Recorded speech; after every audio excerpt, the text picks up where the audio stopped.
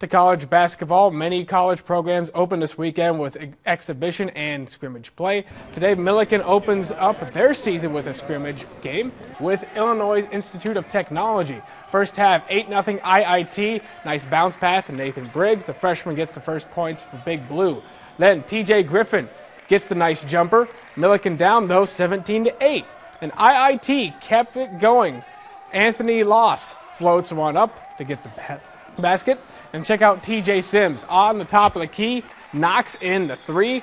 Big Blues' first official game will be on the road next week on Saturday at 5 p.m.